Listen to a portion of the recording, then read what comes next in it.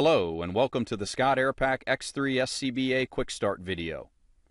The Airpak X3 SCBA was designed not only to meet the stringent requirements set forth in the 2013 edition of the NFPA 1981 and 1982 standards, but also to exceed customer expectations for how a SCBA should look and feel. End user feedback was incorporated into every step of the design process to deliver to you the next advancement in SCBA technology. At Scott Safety, we understand that you have many choices when it comes to your respiratory protection needs, and we appreciate your commitment to the Airpak SCBA product. In this quick start video, we will walk you through the following. Unpacking your new Airpak X3 SCBA, preparation for use, cylinder installation, basic donning, operation and use. Upon receipt of your Airpak X3 SCBA, please open the box to inspect the contents. Depending on how your order was configured, the SCBA will have been shipped either one or two per box. After removing the SCBA, please locate the literature kit attached to the SCBA backframe. In the literature kit, you will find the following items. Important warnings. Safety precautions for Airpak cylinders. NIOSH CBRN approval matrix. Operating and maintenance instructions for the Airpak X3. Operating and maintenance instructions for the dual EBSS accessory hose. Operating and maintenance instructions for the Pak-Alert distress alarm. Operating and maintenance instructions for the SEMS 2 air management system. POSI 3 USB functional test report. It is now time to prepare your Airpak X3 SCBA for use. Begin by removing the orange warning tag that is attached to the lower section of the back frame. Locate and remove the protective bubble wrap from the EasyFlow mask-mounted regulator. If your Airpak X3 is equipped with a high-pressure cylinder connector hose, remove the bubble wrap protecting the CGA coupling. Next, you will want to remove the rubber bands securing the waist pad and shoulder harness assemblies. These are used for packaging purpose and may be discarded once removed. Locate and release the seatbelt buckle to separate the female and male waist belt. Loosen the shoulder straps by pulling back on the respective parachute buckle. Follow the same steps to loosen the waist belt. The Airpak X3 is shipped with batteries pre-installed in the Pak-Alert sensor module. To prevent accidental discharge during shipment, a caution label is inserted between the batteries and battery cover. To remove the battery cover, use a large flathead screwdriver to loosen the battery cover screw. Reinstall the battery cover, but taking caution not to over-tighten the screw. The lights on the console and sensor module will illuminate temporarily as part of the battery installation process. For cylinder installation, release the cylinder retention latch and slide the cylinder into position. Push the red locking tab to engage the cylinder valve hanger bracket. Once secure, close the cylinder retention latch, and adjust the cylinder retention strap as needed.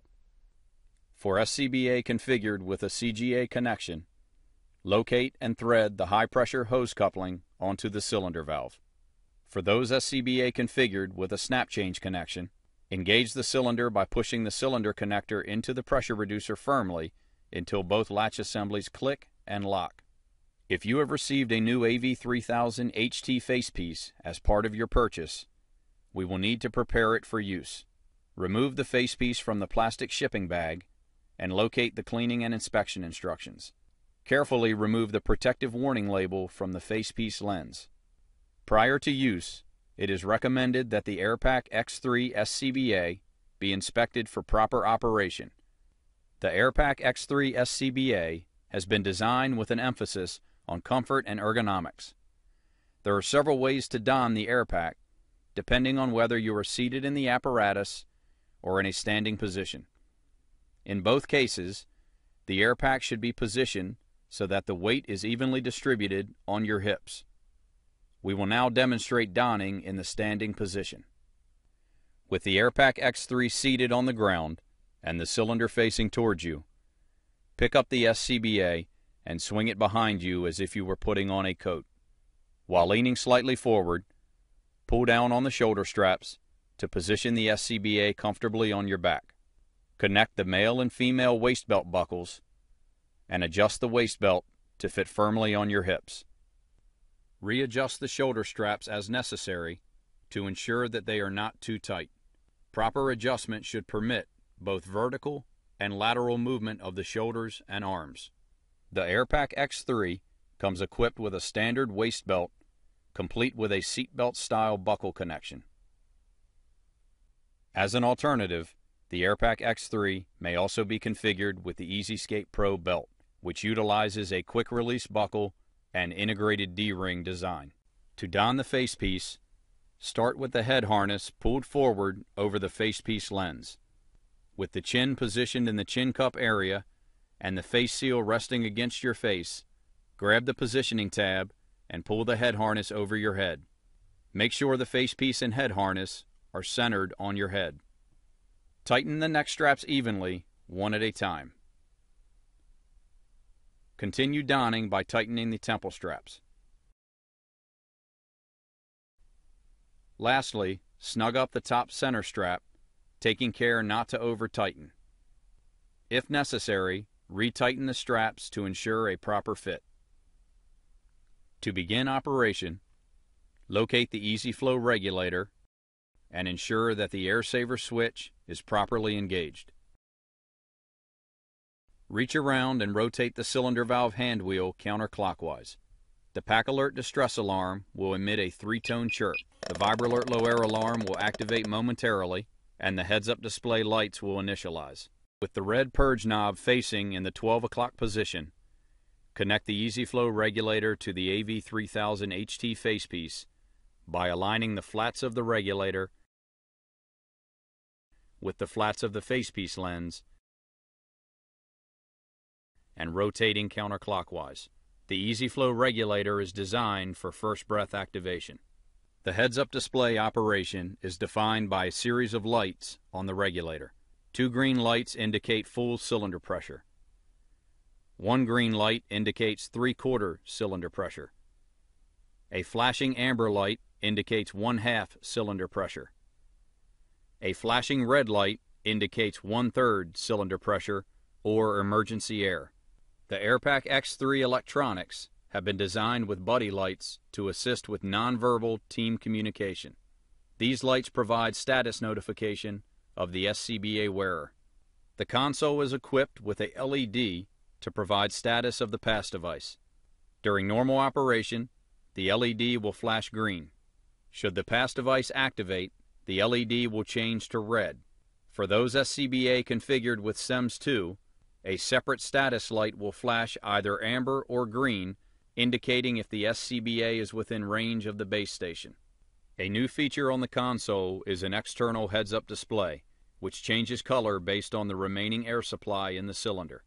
It will follow the same color sequence as the heads-up display in the mask-mounted regulator. The sensor module is equipped with dual buddy lights located on either side of the module. During normal operation, the lights will flash green once every 3 seconds. If the pass device activates, the lights will change to red, flashing in an alternating pattern for pre-alarm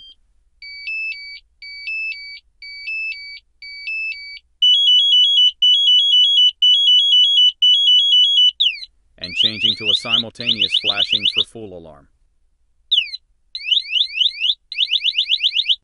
A new feature of the Airpak X3 electronics is the incorporation of a pass device notification in the heads-up display. During pre-alarm activation, the heads-up display lights will toggle in a wigwag pattern to notify you of alarm activation. When the SCBA cylinder reaches 33% emergency air, the Airpak X3 will provide multiple alarm notifications. The VibraLert activates, providing you with a tactile and audible alert. The heads-up display flashes red, providing you a visual indication. For team member communication, the external HUD displays red and the sensor module buddy lights will flash orange in an alternating pattern. To terminate use of your Airpak X3, close the cylinder valve hand wheel by pushing in and rotating clockwise. Prior to removing the cylinder, it is important to bleed the system of any remaining air. Rotate the purge knob clockwise to bleed any residual air. To disengage and release the snap change cylinder, pull on both latches at the same time. As an added safety measure, the cylinder latches cannot be pulled unless all air pressure has been bled from the system. This concludes your Airpak X3 Quick Start video. This video has been produced by Scott Safety in order to familiarize you with your new Scott Airpak X3 SCBA. For further instruction on the use of the Airpak X3, please refer to the operating and maintenance instructions provided with the SCBA. Should you have any questions or concerns, please contact your authorized Scott representative.